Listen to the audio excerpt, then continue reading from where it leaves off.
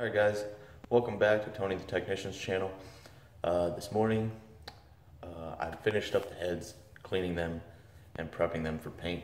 I still haven't taped them off, but uh, right now we're going to move on to removing the timing chain cover and the oil pan uh, so we can get those taped off and ready for paint as well. So I want to do everything at once uh, so I can start reassembling and not have to worry about anything else. So now I'm going to show you how to remove the timing chain cover and the oil pan and then we will go into a little bit of uh, taping off the engine block and everything.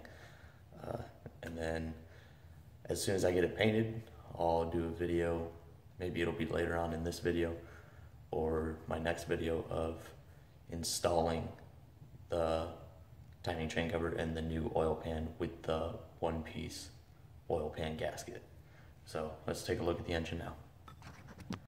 Alright guys, so I got the engine uh, turned over. Uh, when you're going to turn it over, even though you drained both banks from these plugs on both sides and remove the water pump, there's still going to be coolant left over that will come out of the ports where your heads sit. So right down here in these holes along here, you will have coolant drain. So make sure you have an oil pan uh, or some sort of pan. Uh, I also had plastic bags under there to catch the, the splash for the most part. Um, and after that, you can see it's still on the side that blocks them. Make sure to wipe that down. But first we're gonna get these removed and then we can wipe everything down, make sure it's all clean and ready for paint. But right now, we're gonna go into removing the timing chain cover which it's just all these surrounding bolts around the outside. But uh, what you're going to need in order to remove this is just a ratchet, extension, and uh, 7 16 socket. At least that's what mine are. Yours could be different. These are all aftermarket. So uh, this is what you'll need. And then uh, just, I suggest starting from the center on both sides and working your way out. So you just don't take the chance of bending your timing uh, chain cover. And you'll do the same thing when you're reinstalling. You're going to start from the center and work your way out on both sides to get a nice even press on the oil, uh, the valve cover gasket. But that's what I'm going to do now, and then we'll move on to the oil pan. I guess so. I got all the bolts removed. Uh, it's still being held on by the gasket and RTV. But uh, in order to get it off, you're just going to get a nice little flathead screwdriver and start your way on one end. Start, crack it both on both sides, and then move up a little bit on both sides and keep working your way till the top until you can basically pull it off. But uh, same as everything else, keep everything in one location, and uh, I would like, you know, to put it in a bag and mark it, put it with everything else that we have. Keep track of everything. Make sure you don't mix anything up.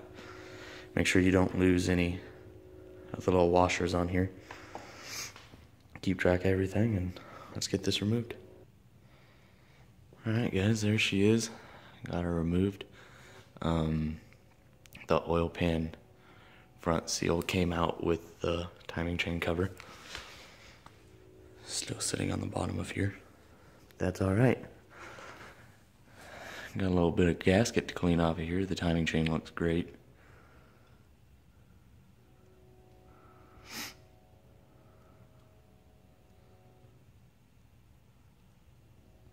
guys, now that we're moving on to the oil pan gasket, so you know all of these along here are going to be 9 sixteenths, but the front two, right here and here, and then the same on the back, the ones back here, those are all going to be half. So you'll need two different sizes in order to remove the oil pan.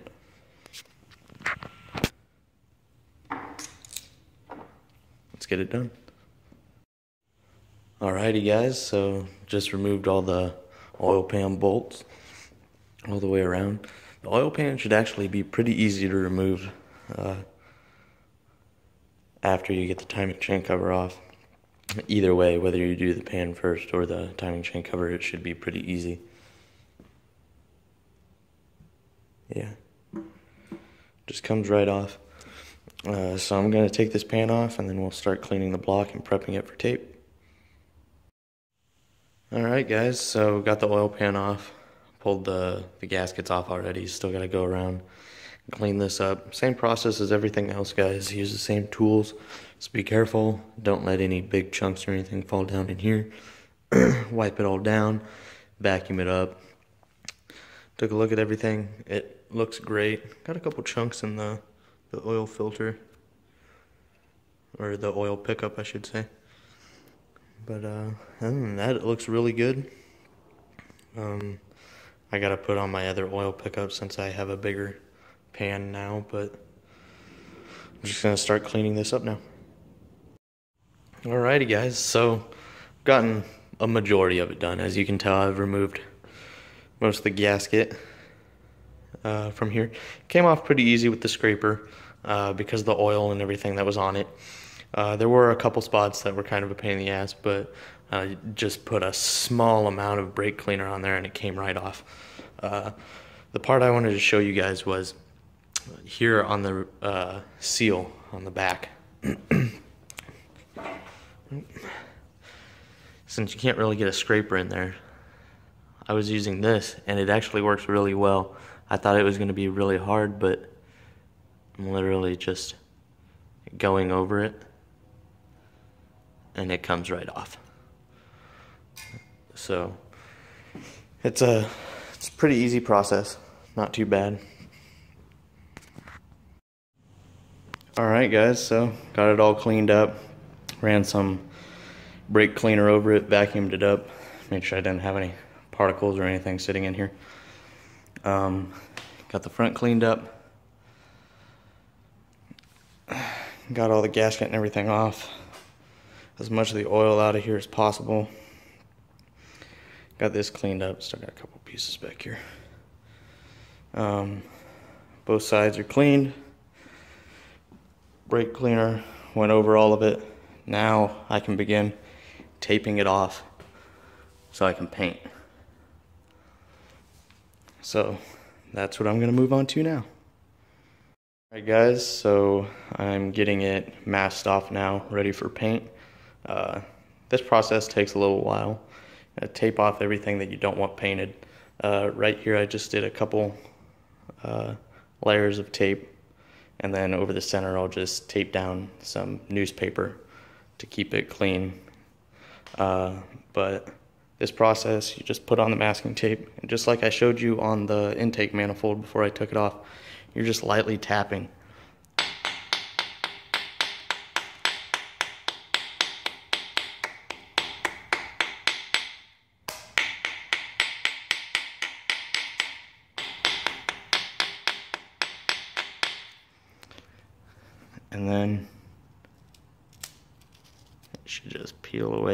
Wherever you hammered at.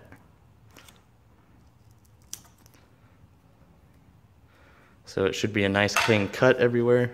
Just make sure you get everywhere. And there you go. And you're just gonna do that around the entire engine where you don't want paint. Uh, I still have to finish taping off the front for the timing chain and then down on the pistons as well.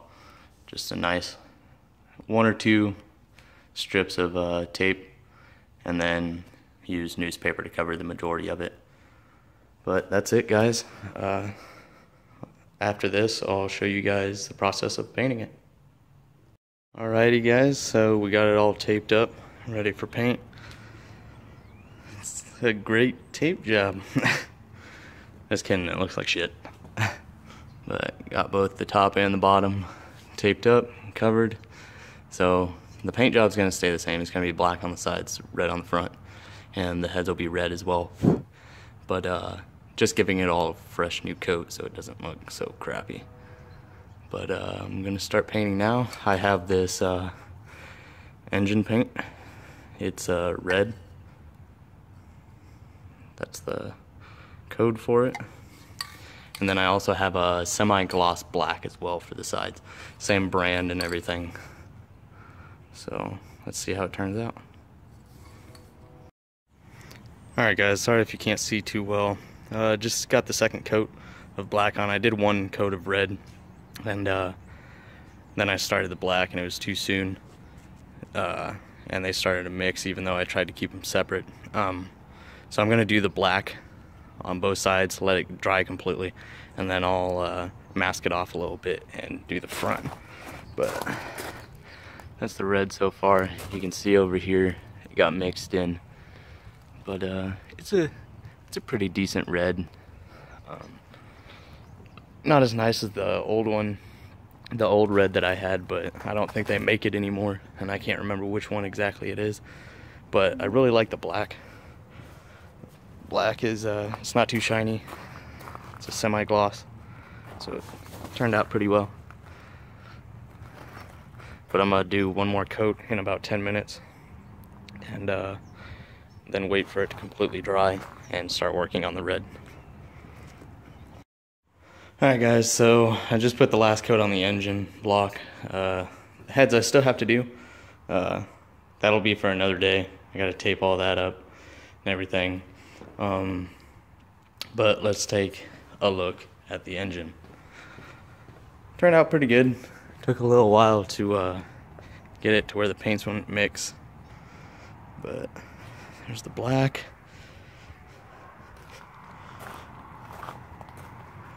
Sorry if it's hard to see, guys. And then here's the red. Turned out really well. This was bothering me but then I realized that's a taped off part anyways, so it doesn't matter. But it turned out really nicely. It's uh, I think three or four coats of red and then four or five coats of black. I did uh, an extra coat of black just because this is the only thing that's gonna be black, so I used as much of the can as possible. Uh, but I had to save the red uh, for the heads. Not that it took very much to cover the front anyways, but that's it guys. Now I'm gonna pull it inside, let it sit, uh, probably overnight before I take the tape and stuff off, just to give it time to cure. Uh, if you are painting a block or engine parts, uh, it says to allow seven days before actually running it. In my situation, that's not a problem. If you're doing it while the engine's still in or soon to be in, uh, make sure you just give it time to sit. But that's it, guys. Thanks for watching. Like and subscribe. Uh, I'll have more videos coming soon. So, as I showed you before, I got the block painted. Still haven't untaped it uh, because my next video I'll be doing how to install the oil pan and timing chain cover. But since I haven't done that yet, I don't want to take it off because I'm using it as a cover right now. I did get the heads done today. Uh, came out really nicely. Uh, just got some paper stuck in the exhaust ports. Um, wasn't too worried about completely taping them off like I did everything else because uh, I'm going to be going in there to do some porting work anyways, so the sanding bits will take care of whatever paint did get on this outer ring right here. Uh, so it came out pretty nicely.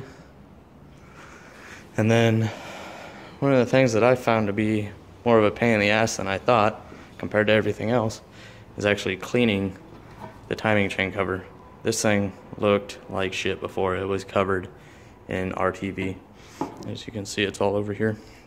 And since I can't really use a razor blade on it because it's powder coated and I don't want to take the chance of gouging it and worrying about chipping and stuff, uh, I did a lot of it by just using my fingers you know, just my fingernail. Uh, got some of it off. Then I coated it in a nice layer of WD-40 or you can use oil, whatever works for you, just to soften up the RTV, makes it easier to get off. I used a pick and my plastic razor blade. This thing worked great. Um, another thing, since I used WD-40 on it. It's got that oily uh, layer where the gasket's going to go. And since you don't really want to use uh, lacquer thinner or anything on paint that you don't want removed, don't use that. Do not use engine degreaser or or not engine degreaser. You can use engine degreaser, but don't use brake cleaner, brake parts cleaner, or the lacquer thinner because it will ruin it. Or if you have a chrome one, uh, I'm pretty sure it'd do the same thing to that. So don't use those two. Uh, I would probably just suggest uh, just rubbing alcohol. I have it down there on the bottom shelf. Uh, it won't mess with paint. Just put a put some on a rag and go around and clean it off. Um, but it came out pretty nicely. I still got a couple little things to get off, but uh, it turned out really nicely. Next thing is waiting for the heads to completely dry. Then I'll take all the paper off the engine and the heads. And then we'll finally, finally start porting the heads. And we can get them put back on, get the new roller rockers in, get everything else on. It's going to be great. So thank you guys for watching. Um, I'll see you guys next time. If you guys have any questions, please leave a comment, like, and subscribe. Have a good day.